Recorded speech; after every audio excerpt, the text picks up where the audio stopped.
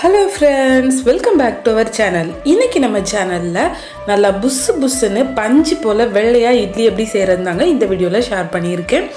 ஒரு சில சின்ன டிப்ஸை நீங்கள் ஃபாலோ பண்ணாலே போதும். உங்கள் இட்லி ரொம்ப ரொம்ப சாஃப்டாக வரும். என்ன தான் நம்ம கரெக்டான ரேஷியோவில் மாவு அரைச்சாலுமே இட்லி வந்து சில நேரத்தில் நல்லா தட்டையாக போயிடும் இல்லாட்டி என்ன ஆயிரும்னா நல்லா ஹார்டாக இருக்கும். அதுபோல் இட்லியோட கலர் கூட பார்த்தீங்கன்னா பியோர் ஒயிட்டாக இல்லாமல் கொஞ்சம் பார்க்குறதுக்கு ஒரு டல்லான கலரில் இருக்குங்க.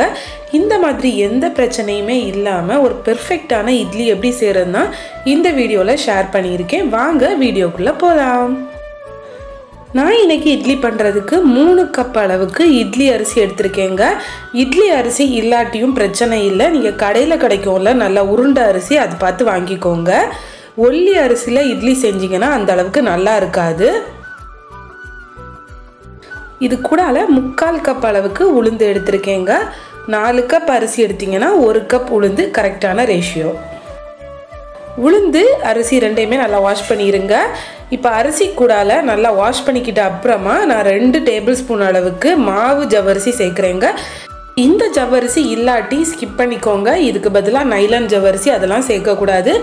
மாவு ஜவரிசி மட்டும்தான் நம்ம தண்ணியில் ஊற போட்டு அப்புறமா கையில் வச்சு மசிச்சு பார்த்தோன்னா மசிக்கிறதுக்கு ஈஸியாக இருக்கும். தண்ணி ஊற்றிட்டு பார்த்தீங்கன்னா இந்த மாதிரி அரிசி நல்லா கண்ணாடி மாதிரி வெளியே தெரியணுங்க. அந்த அளவுக்கு நீங்கள் அரிசியை வாஷ் பண்ணினீங்கன்னா மட்டும்தான் உங்கள் இட்லி வந்து நல்ல பியோர் ஒயிட்டாக கிடைக்கும். உளுந்து ஒரு ரெண்டுலேருந்து மூணு வாட்டி மட்டும் வாஷ் பண்ணிக்கோங்க. அதில் தண்ணி ஊற்றி பார்த்தோன்னா இந்த மாதிரி மேலே பபிள்ஸ் வரணுங்க. இப்படி இருந்துச்சுன்னா மாவு நல்லா ஈஸியாக புளிச்சு பொங்கி வருங்க. அதுக்காக தான் இந்த பபிள்ஸ் வந்து ஈஸ்ட் ஆக்டிவேட் பண்ணுறதுக்கு ரொம்ப ஹெல்ப்ஃபுல்லாக இருக்கும். அரிசி உளுந்து ரெண்டையுமே ஒரு ரெண்டு மணி நேரம் மட்டும் நல்லா ஊற வச்சு எடுத்துக்கோங்க. இப்போ உளுந்து நல்லா ஊறிடுச்சுங்க. இனிமே இதை வந்து நம்ம கிரைண்டரில் போட்டு நல்லா அரைச்சி எடுத்துக்கணும். இந்த மாதிரி நல்லா மையாக அரைச்சி எடுத்துக்கோங்க. இன்னும் ஒரு ஸ்டெப் நீங்கள் கவனிச்சுக்கோங்க. நீங்கள் உளுந்து அரைக்கிறதா இருந்தாலும் சரி அரிசி அரைக்கிறதா இருந்தாலும் சரி நல்லா தேவையான அளவு தண்ணி ஊற்றி அரைக்கணுங்க. நம்ம சில பேர் என்ன பண்ணுவோன்னா உளுந்து அரைக்கும் போது ஒரு கொஞ்சமாக தண்ணி நம்ம வடை பேட்டர்லாம் அரைப்போம்ல அந்த அளவு தண்ணி ஊற்றி உளுந்து அரைச்சி எடுத்துருவோம். அப்படி நம்ம பண்ணும்போது நம்ம இட்லி வந்து ரொம்ப சாஃப்டாக வராது. அதனால் கவனமாக பண்ணுங்க. நிறைய தண்ணி ஊற்றி நல்லா சாஃப்டாக அரைச்சி எடுத்துக்கோங்க. இப்போ பாருங்க அரிசி நல்லா ஊறிடுச்சு. நான் அந்த ஜவ்வரிசியை மசிச்சு காமிக்கிறேன் பாருங்கள் ரொம்ப சாஃப்டாகி இருக்கும். இந்த மாதிரி தான் இருக்கணும். இனிமே இதை அரைச்சி எடுத்துடலாம். அரிசி உளுந்த அளவுக்கு சாஃப்டாக அரைக்க வேண்டாம். அதை விட கொஞ்சம் குறை குறைப்பாக அரைச்சி எடுத்துக்கோங்க. இப்போ உளுந்த மாவு அரிசி மாவு ரெண்டுமே ரெடியாக இருக்குது இது கூடால நான் கொஞ்சமாக உப்பு சேர்க்குறேன். உப்பு சேர்த்துட்டு இதை நல்லா கையால் அடித்து மிக்ஸ் பண்ணணுங்க. நீங்கள் எந்த அளவுக்கு இந்த மாவை மிக்ஸ் பண்ணி வைக்கிறீங்களோ அது அளவுக்கு உங்கள் மாவு வந்து நல்லா பொங்கி சூப்பராக வரும். நிறைய பேர் இன்னொரு மிஸ்டேக் என்ன பண்ணுறோன்னா மாவு மிக்ஸ் பண்ணி வைக்கும்போதே நம்ம புளிக்க வைக்கிறதுக்கு முன்னையே அதை ஒரு இட்லி மாவு பதத்துக்கு மிக்ஸ் பண்ணி வைக்கிறோம். நல்லா திக்காட்டு. அப்படி வைக்கக்கூடாது. நல்லா தோசை மாவை விட கொஞ்சம் தண்ணியாக இருக்கிற மாதிரி மிக்ஸ் பண்ணி வச்சிங்கன்னா தான் நெக்ஸ்ட் டே அது புளிச்சு வரும்போது ஒரு இட்லி மாவு பதத்துக்கு வரோங்க. இது இப்போ பார்க்கும்போது உங்களுக்கு தெரியும் இந்த மாவு எந்த அளவுக்கு தண்ணியாக இருக்குன்னு. மாவு நல்லா புளிச்ச அப்புறமா நீங்கள் தேவையான அளவு தண்ணி விட்டு மிக்ஸ் பண்ணி அதுக்கப்புறமா இட்லி செய்தீங்கன்னா அதில் உள்ள பபிள்ஸ் ஏர் பபிள்ஸ் எல்லாமே போயிடும் உங்கள் இட்லி சாஃப்டாக வராது. இப்போ பார்த்தீங்கன்னா நல்லா மாவை மிக்ஸ் பண்ணியாச்சுங்க. இனிமேல் சைடில் இருக்கிற மாவு எல்லாத்தையுமே எடுத்துருங்க. ஒரு ஈர துணி இல்லைன்னா ஒரு டிஷ்யூ பேப்பர் பயன்படுத்தி இதை நல்லா க்ளீனாக தொடச்சி வச்சுருங்க. அப்படி இல்லாட்டி மாவு பொங்கி வந்த அப்புறம் நம்ம மறுபடியும் யூஸ் பண்ணும்போது அதில் சைடில் இருக்கிற காஞ்ச மாவு எல்லாமே மாவுக்குள்ளாடி விழுறதுக்கு சான்ஸ் இருக்குது இப்போ நெக்ஸ்ட் டே நான் உங்களுக்கு மாவை ஓப்பன் பண்ணி காமிக்கிறேன் பாருங்கள் எந்த அளவுக்கு பொங்கி வந்திருக்குன்னு. இதை இனிமே ஒரு கரண்டி பயன்படுத்தி லைட்டாக மேலே இருக்கிற மாவை மட்டும் மெதுவாக மிக்ஸ் பண்ணி விடுங்க.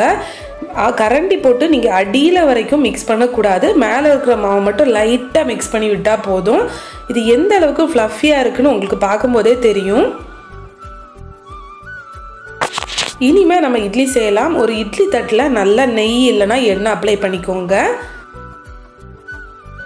இட்லி தட்டில் மாவு ஊற்றும் போது ஒரு முக்கால்வாசி மட்டும் ஊற்றிக்கோங்க நீங்கள் ஃபுல்லாக ஊற்றாதீங்க நம்ம மாவு வந்து வெந்து வரும்போது நல்லா பொங்கி வரும். நீங்கள் ஃபுல்லாக ஊற்றி வச்சுருந்தீங்கன்னா அந்த குழியிலேருந்து வெளியே வந்துடும் அப்போ இட்லி வந்து பெர்ஃபெக்டான ஷேப்பில் இருக்காது. இட்லி அவிக்கிறதுக்கு தண்ணி நல்லா கொதிச்ச அப்புறமா ஒரு ஆறுலேருந்து ஏழு நிமிஷம் மூடி போட்டு லோ ஃப்ளேமில் வேக வச்சிங்கனாலே போதும். இட்லி நல்லா ரெடி ஆயிருங்க. இப்போ பாருங்கள் இட்லி சூப்பராக ரெடி ஆயிடுச்சு.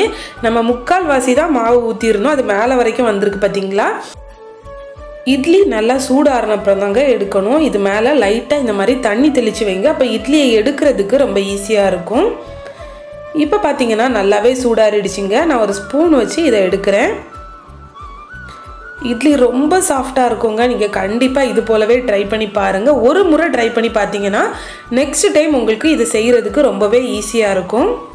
நம்ம பேக்கரியிலலாம் ஸ்பஞ்ச் கேக் வாங்கி சாப்பிட்ருப்போம்ல அதை விடவுமே ரொம்ப சாஃப்டாக இருக்கும். இது கூடால நான் வந்து சாம்பார் அதுக்கப்புறமா தக்காளி வெங்காய சட்னி இது ரெண்டுமே வச்சுருக்கேங்க.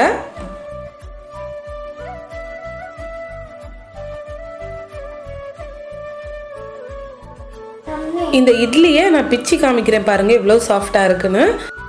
கண்டிப்பாக இந்த வீடியோ உங்களுக்கு யூஸ்ஃபுல்லாக இருந்திருக்கும்னு நான் நம்புகிறேன் பிடிச்சிருந்துன்னா நம்மளோட சேனலுக்கு சப்ஸ்கிரைப் பண்ணிக்கோங்க. உங்களோட ஃப்ரெண்ட்ஸ் அண்ட் ஃபேமிலிக்கு ஷேர் பண்ணுங்கள் இன்னொரு இன்ட்ரெஸ்டிங்கான ரெசிபியில் உங்களை மீட் பண்ணுறேன் ஃப்ரெண்ட்ஸ் பாய் பாய்